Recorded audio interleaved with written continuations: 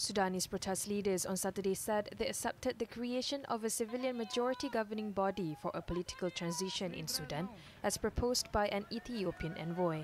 A draft of the Ethiopian proposal suggested that the Sovereign Council would be made up of seven civilians and seven members of the military, with one additional seat reserved for an impartial individual.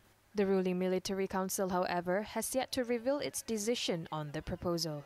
Sudan has been racked by tensions between protest leaders and generals who seized power after ousting President Omar Bashir in April, and the situation was exacerbated after a bloody June 3rd crackdown on a protest sit in demanding civilian rule.